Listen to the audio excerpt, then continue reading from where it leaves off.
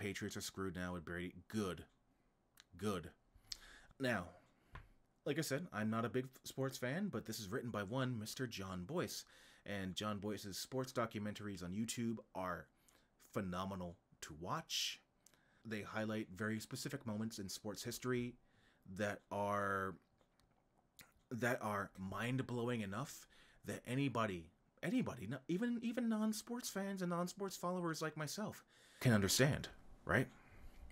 So I'm going to read the introduction here.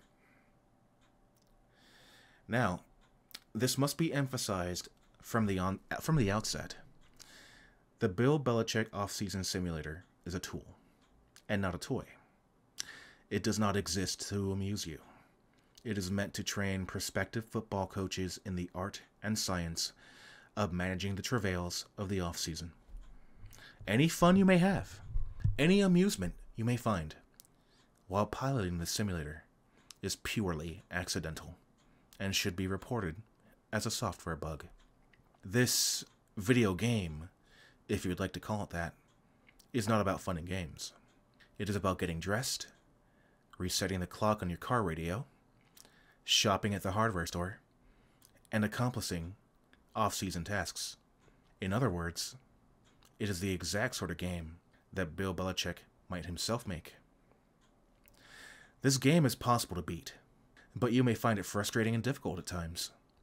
That is because you are not Bill Belichick. Best of luck piloting the Bill Belichick offseason simulator. Due to its immersive realism and state of the art graphics, the simulator might take a few moments to load. Do not abuse or enjoy the Bill Belichick offseason simulator. Okay. Welcome to the Bill Belichick offseason simulator, brought to you by SB Nation. You are a person playing the Bill Belichick offseason simulator who is simulating an offseason day in the life of Bill Belichick, coach of the New England Patriots. Bill Belichick, weeks removed from his fourth Super Bowl win, finds himself in the guts of the offseason. He must complete offseason tasks. He must also find meaning in a life without football. Your goal is to guide Bill to a greater understanding of purpose and of self. The simulation will end if it's detected that you are not living true to the principles of the Bill Belichick system. So, I'm gonna go ahead and play. Yeah, uh, yeah, anything could happen. As a Pennsylvanian, I know the Steelers aren't doing too hot. Nah, even I know that.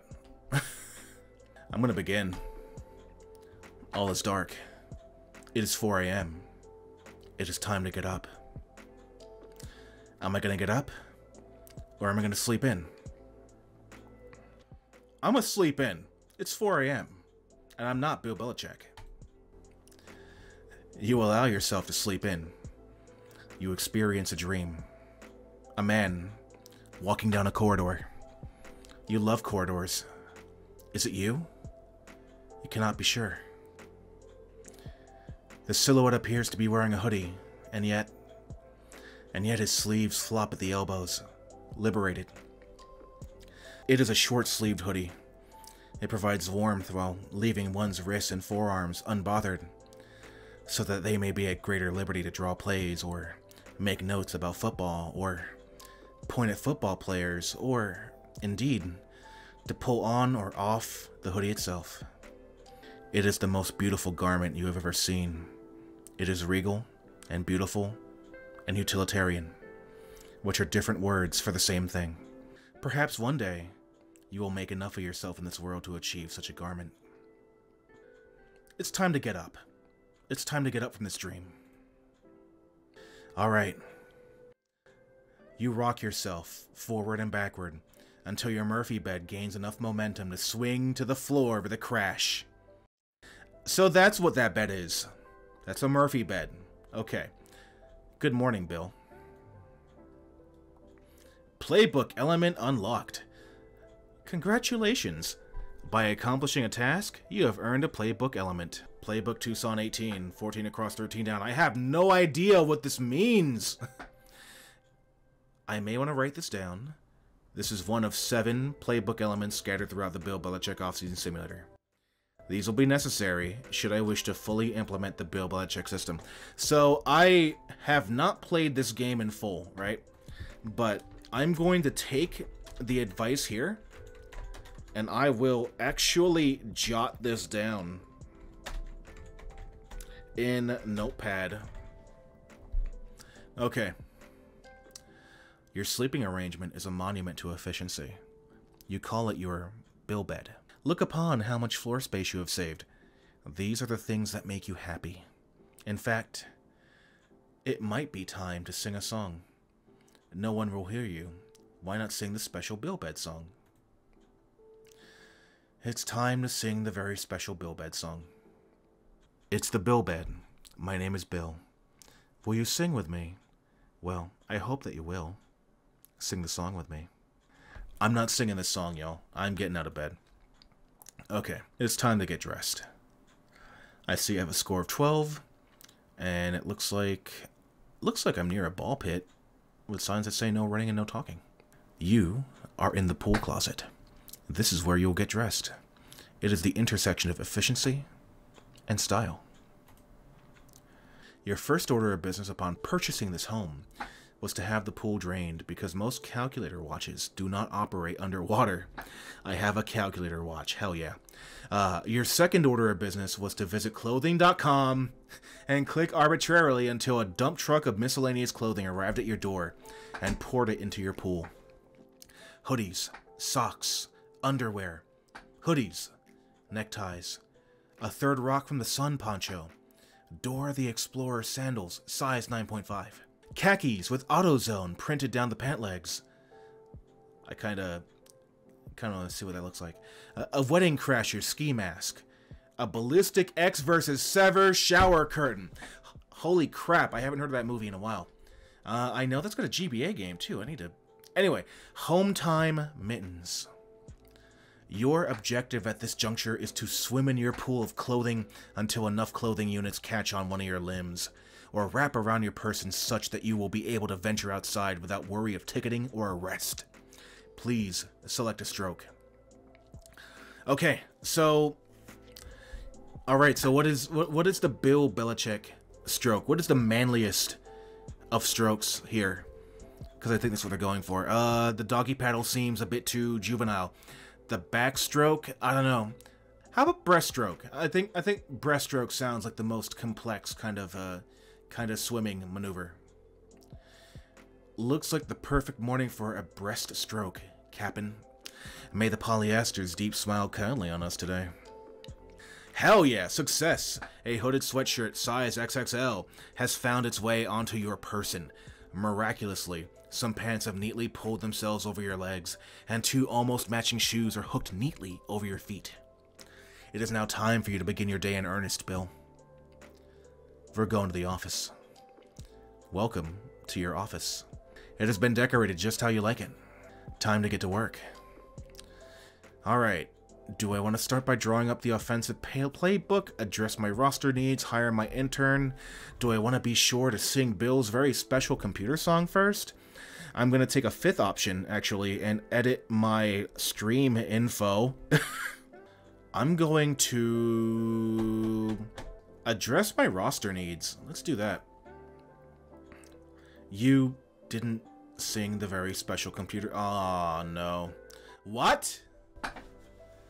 It would have been so simple to sing the very special computer song. You have failed to abide by the principles of the Bill Belichick's... For real. I lost. I lost. Uh, why are my eyes wide shut? Fixed again. I did it. So we're not like Bill. We're not like Bill. So I'm going to go back. Uh, my score is 2. I didn't bust any unions. I didn't discover any monorails. I didn't destroy any mystical totems. Okay, uh, we're going to do that again. We're going to run that back. Begin. Get up. We getting up. Alright. Saved that. The Bill Bed song. I did that. Got out of bed. Breaststroke. Go to the office. Okay. I gotta, I gotta sing the song. Now that you've turned on your computer, it's time to sing the very special computer song.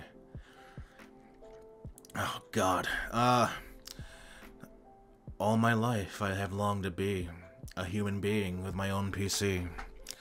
It accepts CD-ROM 3.5 and 5.25 diskettes, and is thereby nicknamed the Triple Threat. On the front of the tower, there's an LED that displays the megahertz for me. It's always stuck at 133. Salvation is found through Atherby. The monitor's VGA. I degauss it most every day to get rid of all the spam. Sometimes for a special treat, I'll treat it to sepia. It's really neat. There should only be two colors. Humans should not hug each other. Hooray. okay, uh... Let's go ahead and address roster needs. Your top priority for this offseason is to acquire a new slot receiver. It's important to complete this task in a manner consistent with the Bill Belichick system. Uh, use a draft pick, trade for a slot receiver, sign a slot receiver in free agency. Build my own slot. Hell yeah. Crafting a receiver is the most consistent with the Bill Belichick system. After all, you found Wes Welker in a pile of leaves, and you built Julian Edelman with a pottery wheel. In order to craft your own wide receiver, you'll need to acquire three components. The first component is a sprig of Nirnroot. What is Nirnroot? Is Nirnroot some sort of video game thing? Whatever. Wander the countryside in search of Nirnroot. I've encountered a rock music gang. Negative 81 points. Sweet. Uh, you remember hearing tales of the dangerous rock music gangs from your childhood.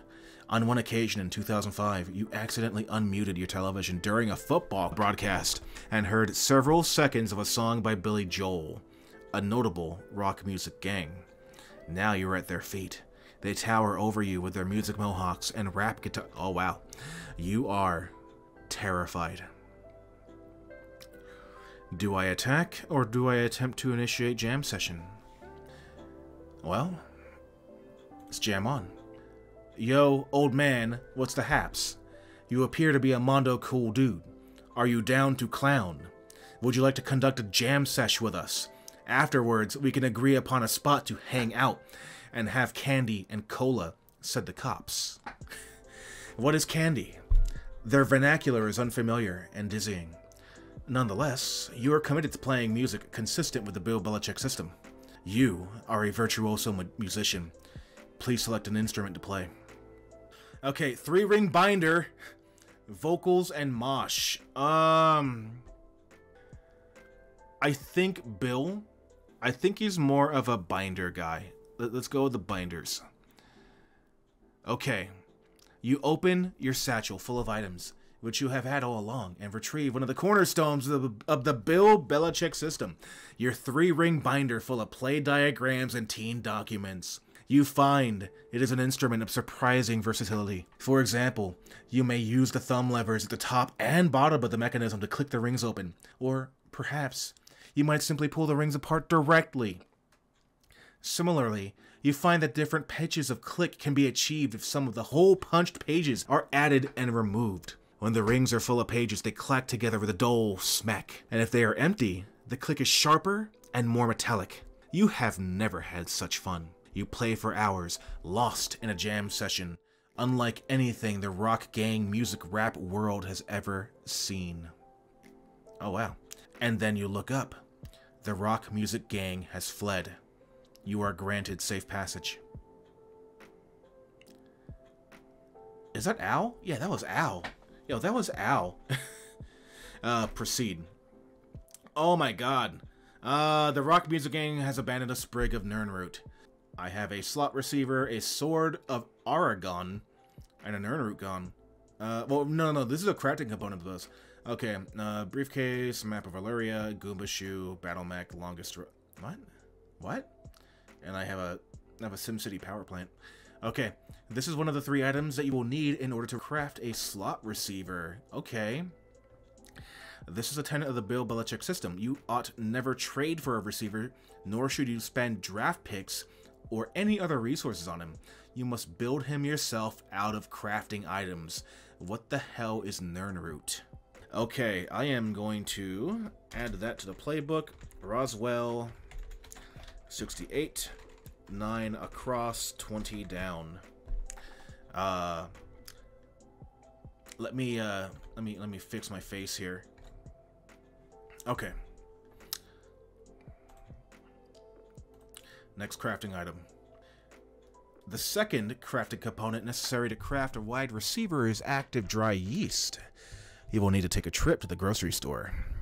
Upon entering your car, you find you find that its dashboard clock is one hour too slow.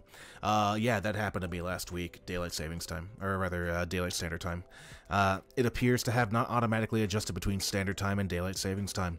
Operating this motor vehicle without ensuring that all its systems are properly calibrated would stand a direct violation of the Bill Belichick system. You must operate the car radio's clock interface until it displays the correct time. Well, let's see here. Okay, good deal. Let's see if I uh, cassette. Looks like we are.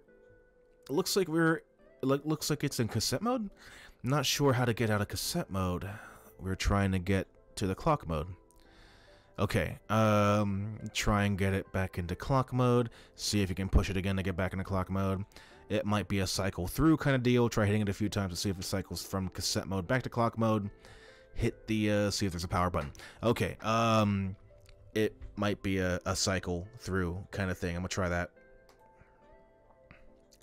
Well, it's uh, still stuck in cassette mode, and what you gotta do is uh, exactly, exactly.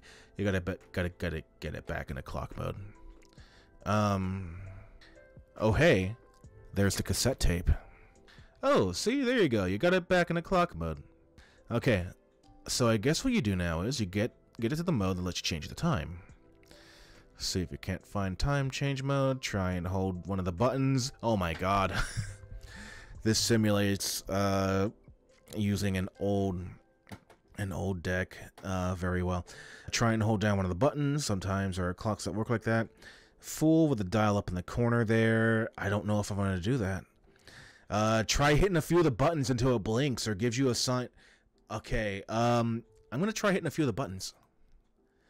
Okay, you're getting hell yeah. Okay, uh, okay. The trick now is you can't get it to stop at the right place. If you hit 11, that's great, but if you miss it when you cycle around, it puts you all the way back back at one, and you have to go all the way back again.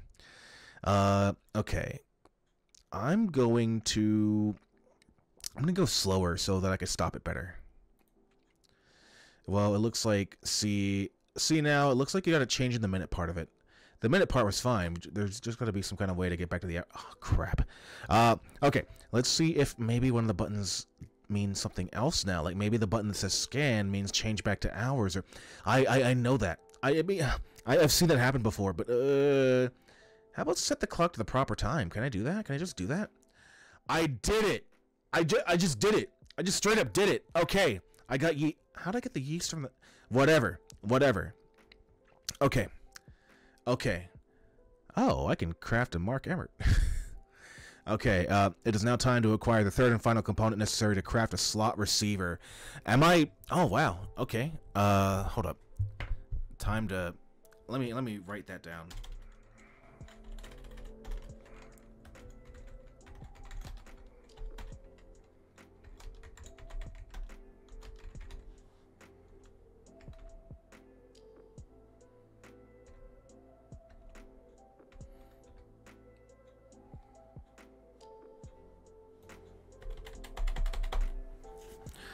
Okay.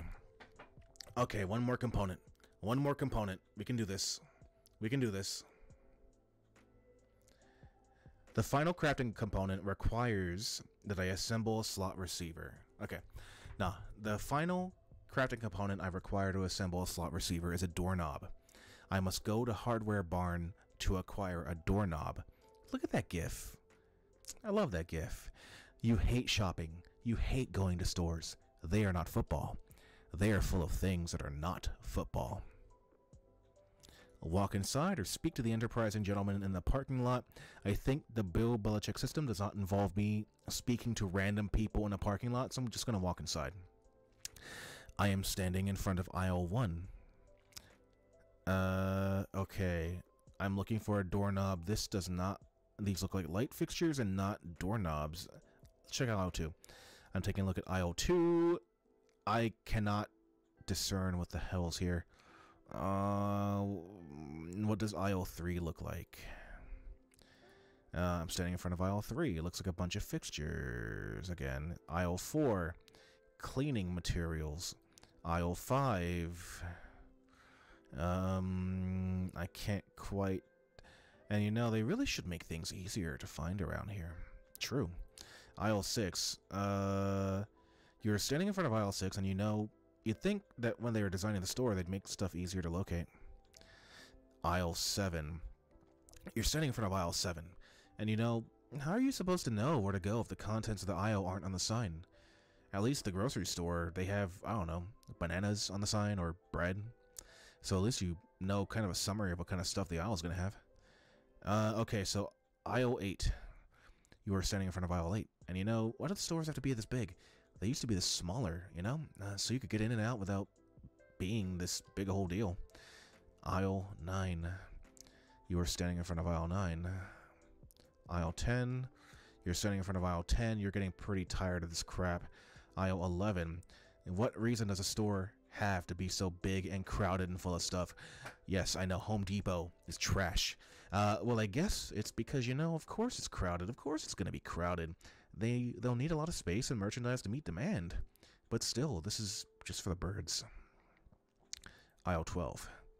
You are standing in front of aisle 12. It's just for the birds. Aisle 13. Oh shit. Uh, you are standing in front of aisle 13. aisle 13 appears to be a Yeti's lair. Oh hell, I'll just go down the Yeti's lair. You walk into the Yeti's lair where there is. Oh my god. Oh no. Oh no! You have been captured by the Yeti. Venturing into the Yeti's lair, lair is entirely inconsistent with the Bill Belichick system. Bill Belichick has almost certainly never been considered wandering, never even considered wandering into a Yeti's lair. It's difficult to understand your thought process here.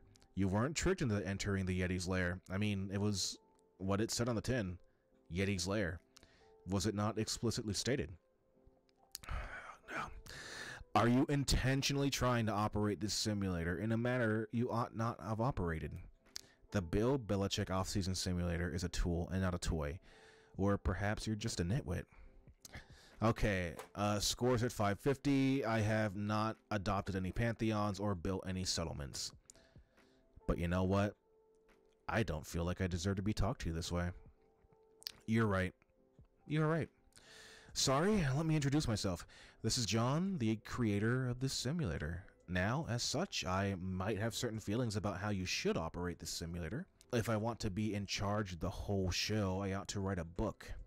And nobody ought to read one of those, much less write one. For a moment, I allowed my feelings to get in the way of my respect for you, the operator of this simulator. I called you a nitwit. That was absolutely unacceptable language and sentiment on my part. I would like to offer a humble apology. You do the Bill Belichick offseason simulator honor merely by operating it, and you ought to simulate it however you please. I'd like to make it up to you, if that's even possible at this point. I'll give you three choices. You may start this simulator over from the beginning, or I could bring you to aisle 14 of the hardware barn and allow you to resume your quest. Or I can allow you to warp to the very end of the simulator, thereby skipping hours hundreds of hours in gameplay. I'm hesitant to do this, but after all, grand trespasses call for grand gestures. Please accept one of these albums as a token of my remorse and recommitment to treating you, the simulation operator, with respect. You know what? You know what? I'm a winner. Take me to the end. What the hell? Uh, December 9th, 4853 you have dropped off Ensign McKee at the nearest atoll for fa- uh, for failing to properly seal the tins of potted potatoes. This vessel must not carry dead weight. Nevertheless, it's an atoll. Atoll? I'm going to find out how to pronounce that. You have visited many times through the centuries, and one you know to sustain berries and fauna. How the hell did I get to this point? May the stars watch over him. Inventory update. Ship to disposal 682. Total tonnage 19,886 tons. Hands aboard 11,201. Firepower 1,220 cannons. The winter winds that chafe your skin are the same that fill your sails. Every sword in this age, it seems, is double edged. 2,800 years at sea, and your conquest of the Atlantic is nearly complete. If you can, at least at long last, defeat the final surviving ships of the dreaded Pendleton, you will secure absolute victory. Let's view the map. Oh, oh wow.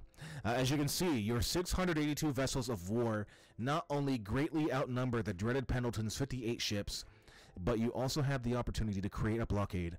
In other words, completely surround him with your armada. Creating a blockade will reduce the dreaded Pendleton's firepower by 50%, offering you a considerable bonus. However, to do so, you will have to move one of your vulnerable units into an attackable position. Your first option is to move your fleet of 34 ships due south like so. Hmm. The drawback, of course, is that the fleet of 34 ships is now the weakest link of the chain. It is outnumbered by the dreaded Pendleton's fleet by 24 ships. Your blockade bonus might not be enough to overcome the disparity. Your second option is to move two fleets, those of 99 ships and 65 ships due north. In terms of sheer numbers, your fleets are large enough to repel any attack from the dreaded Pendleton. However, as noted, 45 ships of the fleet of 99 are damaged and are in need of repair. These ships are too vulnerable to be left alone and will significantly slow down the healthy remainder of the fleet. This could present a window of time through which the dreaded Pendleton can escape. First of all, worst of all, the fleet of the dreaded Pendleton is famously swift. It has taken you centuries to whittle down her numbers and trap what remains of her fleet into a blockade. Allow her to escape now, and ages of conquest will be for naught. You are likely never to see her again. That is, is tough. I think it might be harder to coordinate the movement of two fleets into into this space here than to sacrifice a fleet of 34.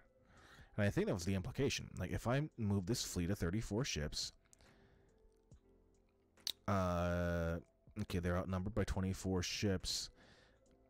The blockade bonus might not be enough to, to overcome the disparity. I'm not quite sure what the rules of this potential simulator, this potential war game are. But I think, well, no. Uh, if I move this down, right? If I move this fleet down and they get bodied, uh, we can I, I still I could still flank them with the other ships with the other armadas. I'm gonna move that fleet south. Thanks to your cunning naval tactics you have at long last captured the dreaded Pendleton.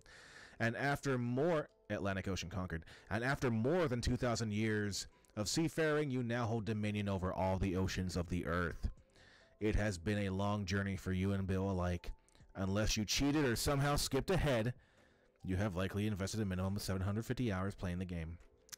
Congratulations are due for piloting the Bill Belichick off-season simulator to its successful conclusion. You have finished 100% of the game, completed every side quest, unless it bears repeating, you have cheated. Don't worry about that. It is time for you to survey all you've conquered. The video is private, so let me actually pull that up. Is it is it is it even up anymore? It's unavailable. Oh no. Oh no. Uh, so yeah, that was the Bill Belichick simulator. I, I could play it some more, but I'm not. I'm not going back to. Um, I'm not going back to bootleg Home Depot.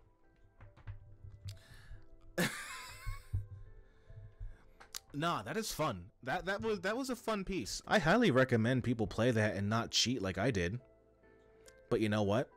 I was uh, grievously offended, and only cheating could make it right.